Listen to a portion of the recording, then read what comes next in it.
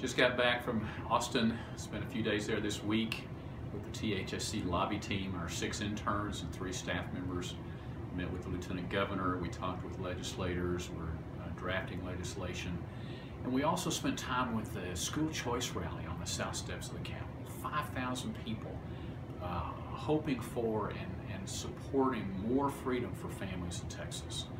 And you know, that reminded me of 22 years ago this month we were there with another group of people hoping for more freedom for parents. It was the homeschoolers, and we were pushing back against prosecution of homeschoolers and there for the Supreme Court hearing.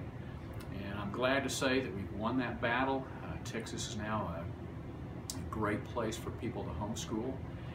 And, but it, it does bring before me the, the ever-present danger. I think we all are aware of that, that anytime the legislature meets, you know, we are at risk, and that's the reason we have our great team in Austin. We're reading all the bills, we're drafting legislation, we're going to try to get CPS reform, uh, we're going to include uh, parental rights reform in the Texas Family Code.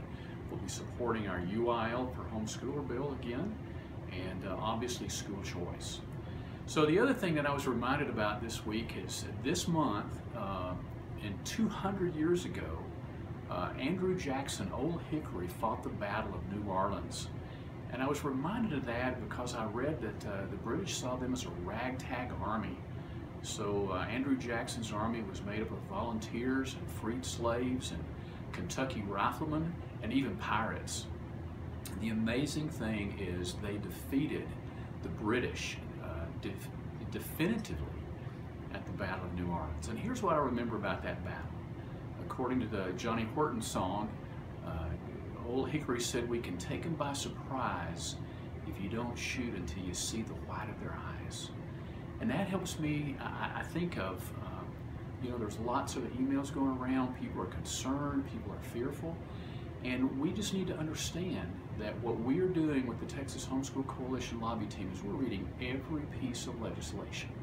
And I just want to encourage homeschoolers in Texas, we're, we're mindful of the dangers.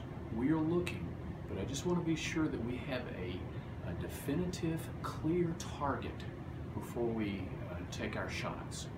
So the exciting thing is we're going to continue to do this. We are for freedom. We're going to work for every opportunity for parents to have more choices for the education of their children, but at the same time, we are not going to give up a bit of our freedom. So I hope you'll uh, continue to follow us on Facebook, go to our website, sign up for our newsletters, and help us as we work to keep Texas families free. Thanks.